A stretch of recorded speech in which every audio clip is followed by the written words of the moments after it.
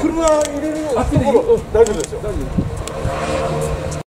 時間になりましたので、えー、これよりです。ね、4月の三王会に、えー、向かいまして、えー、九月のおゴミ掃除と、えー、船頭さんの総裁練習ということで、今日お集まっていただきました。えー、一日、えー、午前中です。が、一つよろしくお願いしたいと思います。えーおはようございます。おはようございます。早朝からありがとうございます。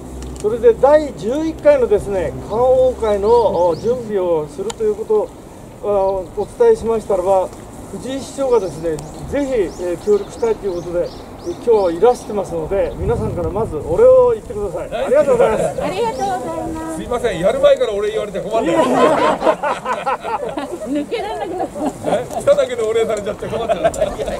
それでですね、今日はあの局長からも話があったように、単純にゴミを拾うということじゃなくて、4月の4日、4月の5日の第11回の観王会の準備をするということで、いつものゴミ拾いと違うんで、その辺をよく理解していただきたいと思うんですね。それであの一応ですね、緊急事態でコロナの緊急事態宣言も、えー解除になりましたし、まああのえー、とこれはこの行事は3密でもありません。それで今あの船見てもらえば分かるんですけど、滝沢さんが船改造してくれて、6人の船頭と乗客がですね、一方向を向くように船直しちゃいましたから、そういうことで、これはあの基本的には実施するということで、準備を進めております。それでおかげさまでですね、それをあの、えー観光協会で発表したら、2日で満員になっちゃいました。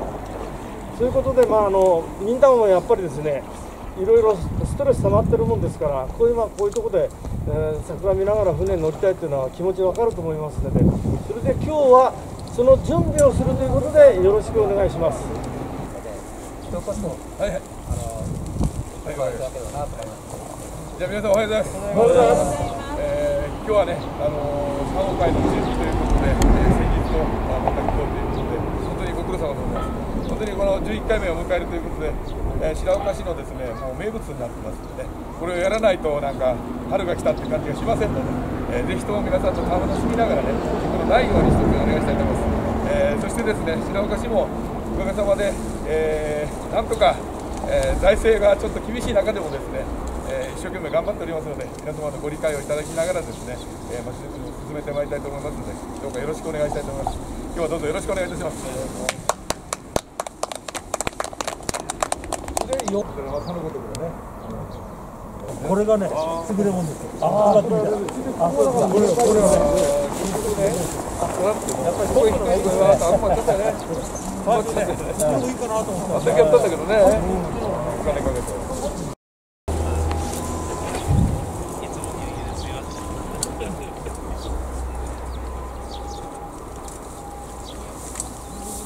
やっぱりダメですか？ああダメですねあ言ってました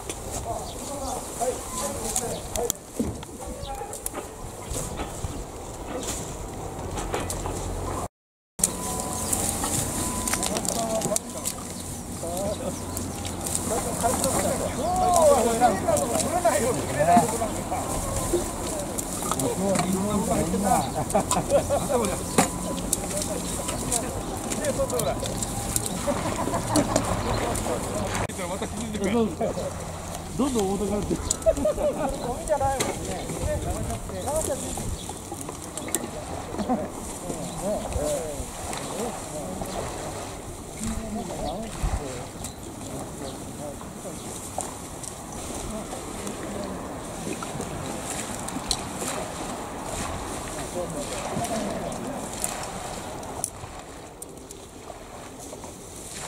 も うね、今日ね、全然、あの、ここだけなんですよ、ゴミがつくの。どこもついてないんですよ。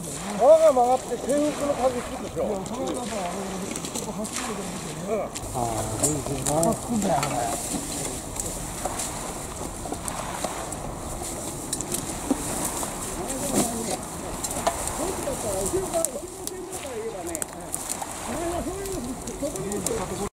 方向だけね、方向だけ、うん。今の子はね、本当に広いますよ、お金じゃない。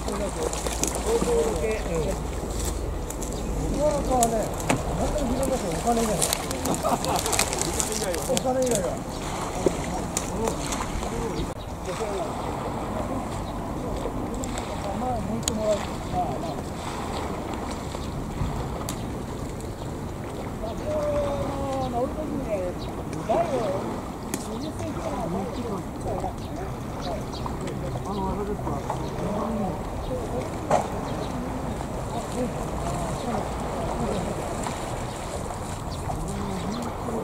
ちょっとしてる人が横に分解してるけどねずっとこうこうやっての袋をねあのそうちょっとね大体ちょっと1袋ぐらい人が集まってこれはだから我々今度契約してるから。